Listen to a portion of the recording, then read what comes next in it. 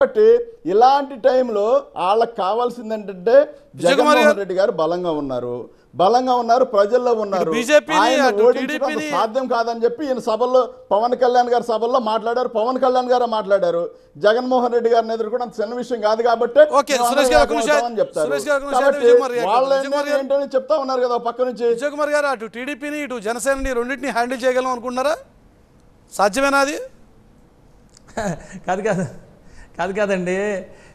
నిజంగానే జగన్మోహన్ రెడ్డి గారు చాలా పవర్ఫుల్. ఎందుకంటే ఆయన ముఖ్యమంత్రి అవ్వకముందే నలభై ఒక్క వే కోట్ల మీద ఆయనకి ఆరోపణలు ఉన్నాయి ముఖ్యమంత్రి అయిన తర్వాత మా కళ్ళు ఎదురులే ఇప్పుడు నేను చెప్పిన చేతనైతే మద్యం మీద నిరూపించమన్నాడు almost 75 వేల కోట్లు చేతనైతే ఎక్కడ ఉందో దమ్ముంటే తెలియాలా? ఎవడైనా నిరూపించమన్నాడు అందులో టెన్ పర్సెంట్ ఇస్తే జగన్మోహన్ రెడ్డి గారు టెన్ ఎందుకు పర్సెంట్ ఇస్తే frustration, mister? రిటర్న్ ఇస్తాను మొత్తం సంతకాలు frustration? మగోడిలాగా మాట్లాడాడు జగన్మోహన్ రెడ్డి మైన్ గారు మీద, నీకులాగా దోచుకున్న వాడెవడో దీని మీద, ఈడెవడో ఇచ్చే ప్యాకేజీల మగవాళ్ళు కోసం, మీ? ఆరోపణలు జేడి లక్ష్మీనారాయణ గారు ఈ ఇచ్చారా? జేడి లక్ష్మీనారాయణ గారు ఏం ప్యాకేజీలు చెప్పారు ఇచ్చారా? మొత్తం కలిపి పేటీఎం వెయ్యి కోట్ల చెప్పారు. ఎట్లా మాట్లాడతారు ఊరుకోవా స్వామి పని పాటలాగా frustration కి వచ్చినటువంటి బ్రదర్ నాగార్జున ఏం మాట్లాడుతున్నావు ఎంపీ గారు సరిగా మాట్లాడు మాట్లాడు, తగ్గించమ్మా. నేను గౌరవం తగ్గించమ్మా. తగ్గించు. అబ్బా గౌరవప్రదంగా మాట్లాడుకోండి. గౌరవప్రదంగా. మాట్లాడుకోండి. మీ- పార్టీ వైఖరి పార్టీ. వైఖరి గౌరవప్రదంగా? చెప్పండి. ఒక్క నిమిషం. వ్యక్తిగతంగా. వ్యక్తిగతమైన వ్యవహారాలతో మీ పార్టీలో మీరు మాట్లాడుకోండి. మీ పార్టీలో మీరు మాట్లాడుకోండి. శాండ్ మీద మైన్ మీద పార్టీలో. నాట్ల మీద దోచుకున్నారు.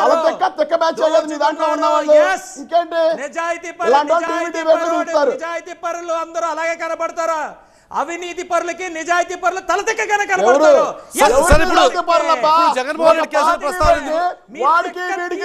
జగన్మోహన్ రెడ్డి కేసులు ఇప్పుడు జగన్మోహన్ రెడ్డి గారి కేసులు ఆల్రెడీ ఆ-. సబ్జెక్ట్?